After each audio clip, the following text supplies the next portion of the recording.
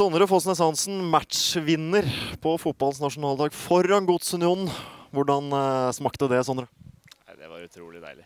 Eh, Det svartnet for meg der og da, for å være helt ærlig. Men eh, jeg begynner å ta det litt mer inn til meg nå. Har vært nære før å få den første skåringen for, for A-laget, men timingen kunne vel ikke vært særlig bedre enn eh, i dag foran eh, kokende Godsunion-felt her.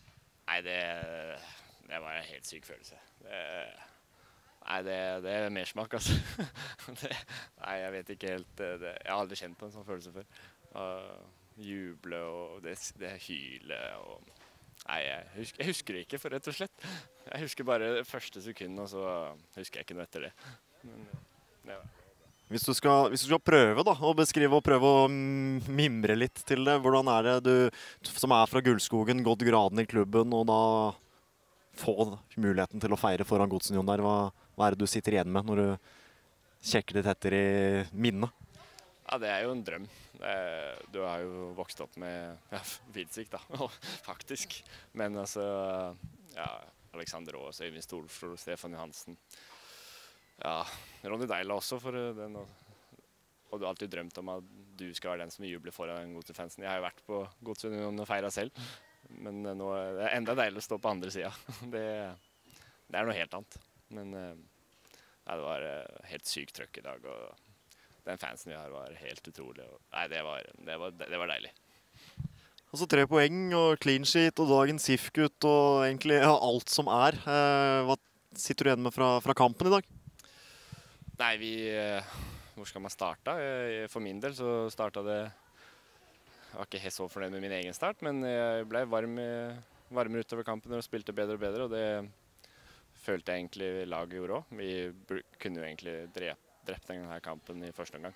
Eh, Men eh, det positive er jo at vi kommer til de så store sjansene som vi kommer til. Eh, Det viser jo at vi har mer, og det er mer som bor i oss. Og vi har jo spilt bra i de siste to ukene også, så dette er egentlig veldig deilig for alle sammen.